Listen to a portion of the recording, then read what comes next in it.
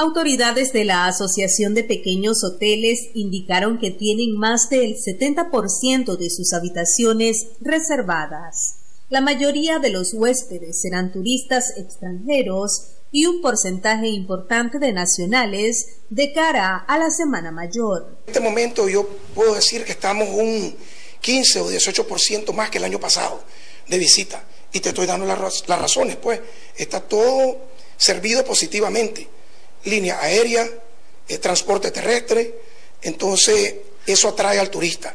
Y vos sabés que esta semana el nicaragüense, a donde se encuentre fuera del país, viene a visitar a la familia. Adicionalmente señalaron que han invertido más de 3 millones de dólares para acondicionar las habitaciones y brindar un mejor servicio, así como tecnificación a sus trabajadores. Estamos en una ocupación del 60 al 70% y eh, positivo para la Semana Mayor para llegar al 90 o 100% de ocupación.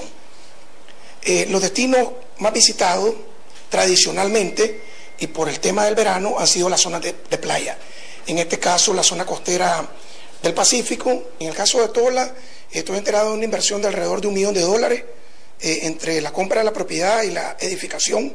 Y calculo que esas 100 habitaciones pueden ser unos 3 millones de dólares en inversión. Los atractivos turísticos más visitados siguen siendo San Juan del Sur, Tola, Chinandega y León.